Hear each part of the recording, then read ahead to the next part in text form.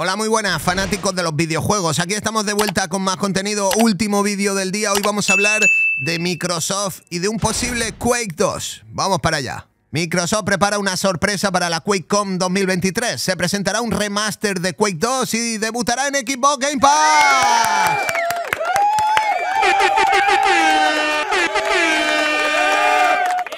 Bueno, Quake 2 Remake, a mucha gente le vuelve loco este juego. Fue uno de sus primeros shooters y fue uno de los que más vició en su historia. Así que bueno, pues esto va a ser bien recibido sí o sí. El popular filtrador Bill Bill Kun ha revelado en exclusiva los planes de Microsoft en este popular evento que se celebrará entre el 10 y el 13 de agosto. Esto lo que sí que pasa es que es un coñazo ya que haya tanto filtrador, tanto insider, tanto chivato, tanto chota, tanto snitch, tanta gente que no para de decir lo que va a ocurrir. Oye, antes los videojuegos eran como más eh, mágicos, más cuando aparecía, aparecía. ¿Os acordáis lo que sentimos cuando presentaron el Hi-Fi Rush?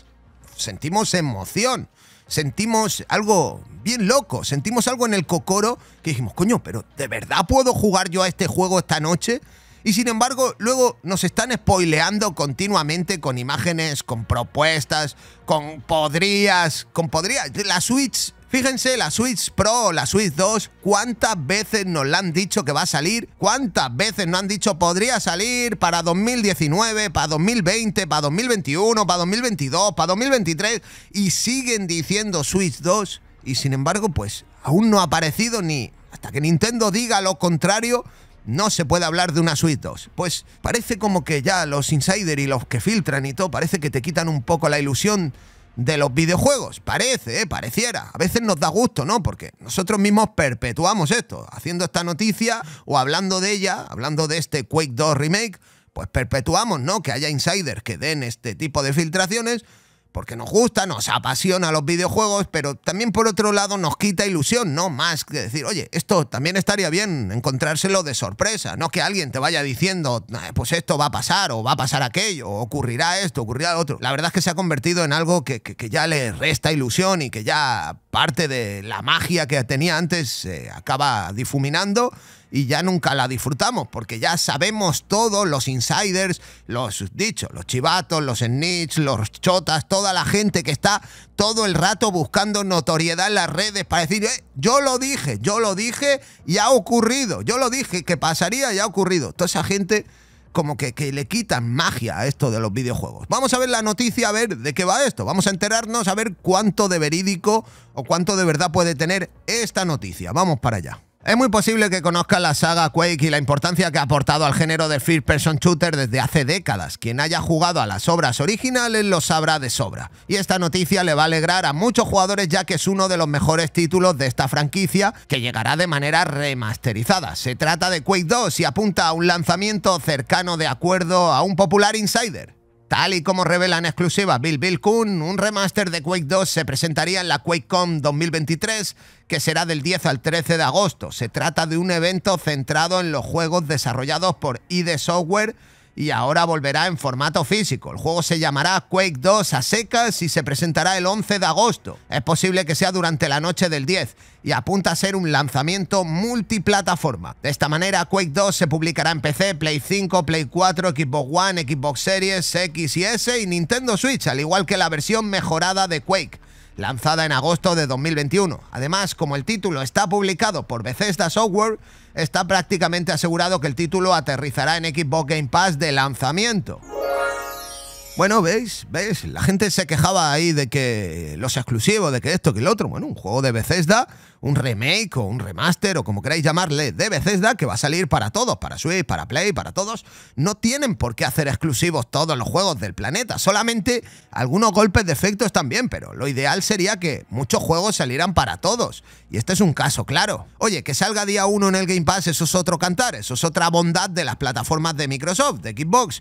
Y obvio, si sacas un juego y está ahí candente y lo vas a poder sacar el día uno en el Game Pass, pues todo el mundo contento. El que se lo tenga que comprar, pues se lo compra. El que no, pues no. El que sea fanático de Quake, se lo comprará a lo mejor. El que no sea fanático de Quake, ni siquiera lo jugará de gratis en el Game Pass.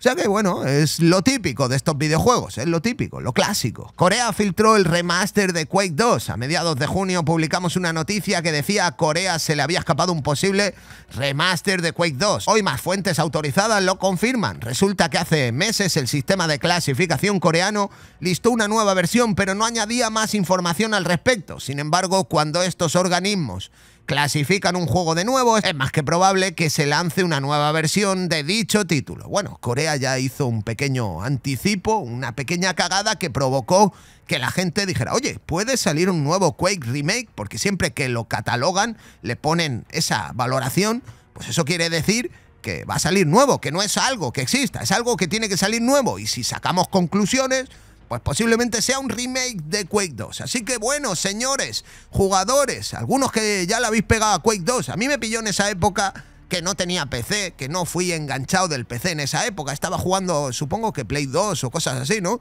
O Play 1. Pero yo entiendo y conozco muchos amigos que han jugado duro a un Real Tournament, a Quake y a Doom y a todos estos juegos del principio, los primeros first person shooters, los padres de los shooters que hay ahora hoy en día. Así que entiendo que haya emoción por parte de estos jugadores de recibir un remake o un remaster de Quake 2. Hasta el punto de que, bueno, pues se lo comprarán, lo disfrutarán, les llegará la melancolía de aquella época. En fin, es nostalgia, es los juegos retro traen eso, la nostalgia, el acordarte de cuando lo jugabas cuando eras más joven y lo jugabas y, y los recuerdos que te traen de aquella época, es básicamente nostalgia. Las empresas, las compañías saben que con la nostalgia se vende, que juegan con esa baza de la nostalgia, que básicamente el retro, por ejemplo, se basa 100% en nostalgia, básicamente. O sea, eh, mucha gente no le apetece jugar a esos juegos tan antiguos, pero la nostalgia, el recordar aquella época hace que te sientes bien jugándolo, aunque no dejen de ser juegos muy antiguos. Bueno, pues Quake 2, no digo yo que vaya a ser un juego antiguo, ni que se vaya a ver antiguo, ni siquiera que vaya a valer la pena o no vaya a valer la pena. Yo, nunca he sido enganchado del Quake 2, pero yo sé que muchos de ustedes sí que lo jugaron y que le dieron fuerte a este juego y que para ustedes sí que significa algo. Así que por eso traemos esta noticia Aparte de que ahora no hay mucho volumen de, noticias, ni de cosas, ni de asuntos que van saliendo porque todo el mundo está de vacaciones. Pero bueno, eh, está bien, oye, Quake 2 es algo popular, es algo que le va a gustar a muchos y yo espero que me digáis por los comentarios qué opináis de esto, qué os parece, si os gusta la idea, si no, si os lo compraríais, si básicamente decís, bueno, prefiero que salga un shooter nuevo que no repetir lo mismo que ya he jugado. No sé, ustedes me dan la opinión por ahí por los comentarios. Y ahora sí que nos despedimos. Feliz viernes. Espero que lo hayan pasado estupendo. Mañana sábado volvemos con más contenido. Esperemos que salgan nuevas propuestas, nuevas noticias, nuevas cosas que descubrir. Por supuesto, aquí aprendemos todos los días cosas nuevas. Nos vemos mañana. Vamos que nos vamos.